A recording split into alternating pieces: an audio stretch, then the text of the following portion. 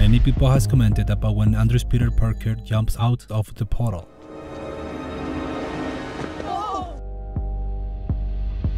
So again I remapped the time to ease the movement. Then I started covering up these artifacts and making it look like real time. Also I tried to add texture to his suit. We see here that after jumping his arm is still behind his shelf.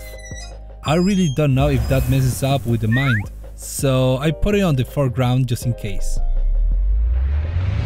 And that's why I did.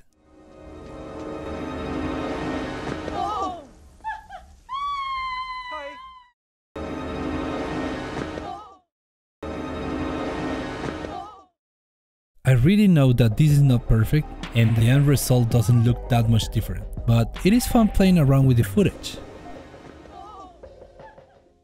Thanks for watching.